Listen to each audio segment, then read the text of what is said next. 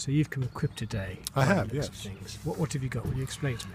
Well, I've got my regular camera, Yeah. um, and I've got a, a very high factor welder's uh, mask replacement lens.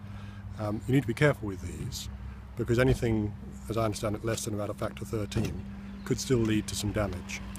Um, but this is a factor 13 and it works very well. We're about half an hour into the show, if that's the right word. What do you think of it so far? It's stunning. Um, it's when you see the e- eclipse starting and look up, having thought, well, it's more or less regular light here, to actually see the disk of the moon sliding across, um, it, it stops you short. You've got a case to get to, I presume. Is the judge Um, going to be lenient today? Um, happily, the judge hasn't got too much to do today.